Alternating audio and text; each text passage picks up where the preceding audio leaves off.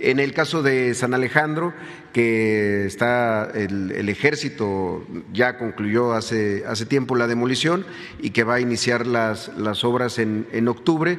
Estábamos con un, eh, también era un proceso bastante complejo, un hospital grande, en donde la la UNAM nos está, hizo el proyecto eh, ejecutivo y estamos concluyendo en esa vinculación de la UNAM con la Sedena para iniciar también en, ese caso en, octubre en San Alejandro.